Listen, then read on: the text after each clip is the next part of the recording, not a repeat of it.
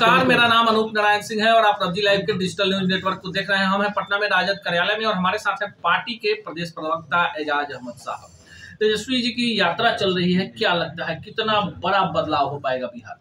देखिए, बिहार की एक एक जनता एक एक लोग एक एक नौजवान तेजस्वी जी के नेतृत्व पर विश्वास कर रहा है।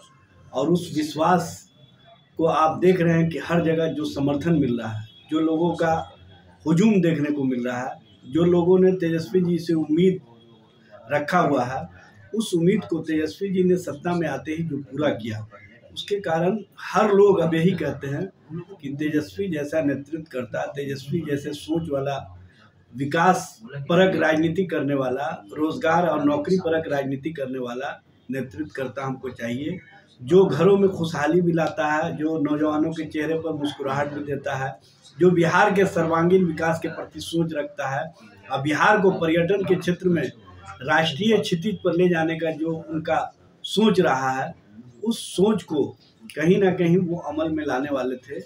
लेकिन इस बीच में जो राजनीतिक साजिश हुई है, जो राजनीतिक खेल खेले चूँकि जो लोग सत्ता और स्वार्थ की राजनीति करते हैं, वो इस तरह के खेल में महारत हासिल किए हुए रहते हैं। लेकिन तेजस्वी जी ने जो जनता ने उनके प्रति विश्वास जताया है, जो जनता ने उनके प्रति समर्थन दिया है, उसको वो लोगों के बीच जाकर के बताने का काम कर रहे हैं कि हम सत्ता से ज़रूर हटे हैं, लेकिन जनता के मन से नहीं हटे हैं।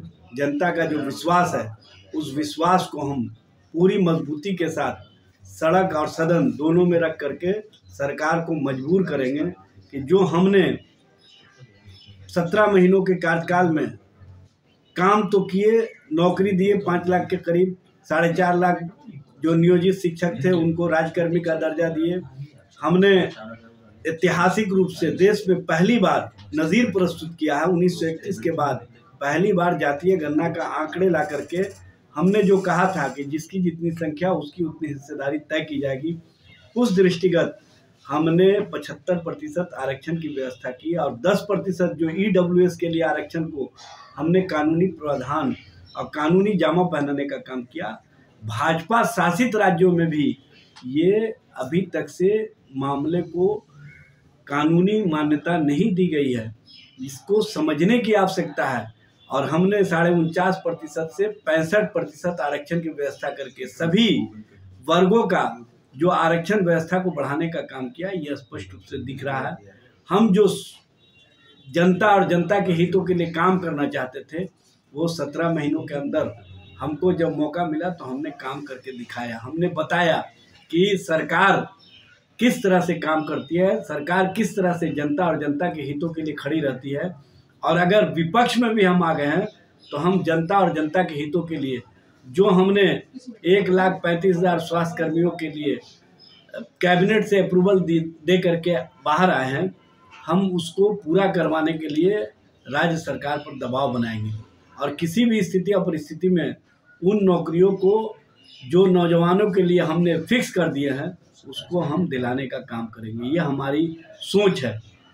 और लेकिन साहब जो सत्रह महीने की बात हो रही है रोज़गार की बात भी मानते हैं विरोधी भी मानते हैं कि तेजस्वी यादव में संभावना है। लेकिन जो सुर बदले हैं एमवाई समीकरण है मुस्लिम यादव समीकरण है ओवैसी की पार्टी ने बड़ा सेंध लगाया है बिहार में और कहीं ना कहीं जो विधानसभा चुनावों में देखने को मिला आपको लगता है कि कहीं ना कहीं जो मुसलमान है बिहार का वो आपसे दूर जा चुका है? देखिए सबसे पहले तो आपको समझने की आवश्यकता है।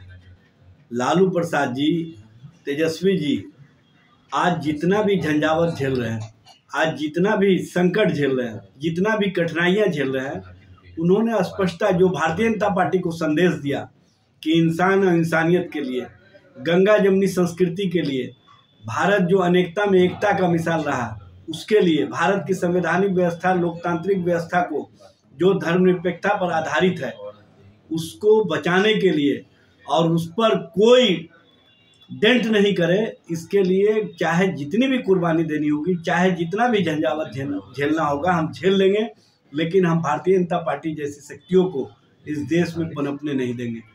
ये बात मुसलमानों को पता है। मुसलमान हमारे साथ खड़े हैं, क्योंकि उनको ये भी पता है कि लालू प्रसाद जी वाहिद शख्स है, जिसने हमेशा किसी भी लालच और मुँह में नहीं आकर के जो कुर्बानियाँ दी हैं जो झंझावत झेले हैं, जो कठिनाइयाँ झेली हैं, वो सबको पता है, इसलिए बताने की आवश्यकता नहीं है। और जो लोग आते हैं बिहार में और फायर करके चले जाते हैं, सबसे पहले तो उनको बताना चाहिए कि उनकी लड़ाई भारतीय जनता पार्टी से है कि तेजस्वी प्रसाद यादव और लालू प्रसाद जी से है। आप भारतीय जनता पार्टी के खिलाफ या भारतीय जनता पार्टी की नीतियों के खिलाफ कुछ नहीं बोलते हैं, लेकिन कहीं ना कहीं तेजस्वी जी को टारगेट करके आप राजनीतिक एजेंडा उन लोगों के द्वारा जो आपको सेट करके दिया जाता है, उसी के तहत आप उस संकल्पों को आगे बढ़ाते हैं। तो ये बिहार है। और बिहार का एक एक आवाम एक एक नौजवान एक एक मुसलमान एक एक वर्ग का लोग इस बात को जानता है कि लालू प्रसाद जी, तेजस्वी जी, सत्ता और सत्ता के बाहर भी हमेशा देश और देश की संस्कृति के लिए, इंसान और इंसानियत के लिए संघर्ष और अपने आप को झोंकने का काम किए हैं। इसलिए कोई चाह कर भी लालू प्रसाद जी से जो विश्वास मुसलमानों का है और जो मुसलमानों पर विश्वास लालू जी का है, उसको तोड़ नहीं सकता। यह है एजाज हुसैन साहब और इनका साफ़ मानना है कि जो सत्रह महीने में तेजस्वी यादव जो वादा किए थे बिहार की जनता से, उसे पूरा किया है, जिसका पूरा का पूरा फ़ायदा उठाने की कोशिश महागठबंधन लोकसभा और विधानसभा चुनावों में करेगी। जिस तरह से तेजस्वी की सभाओं में भीड़ आ रही है, उसे ये विकास की भीड़ बता रहे हैं और कह रहे हैं कि जो मुसलमानों को लेकर बिहार में भ्रम की स्थिति वैसी जैसी पार्टियाँ पैदा करना चाहती हैं, उससे बिहार के पॉलिटिक्स पर कोई असर नहीं पड़ने वाला है। Thank you.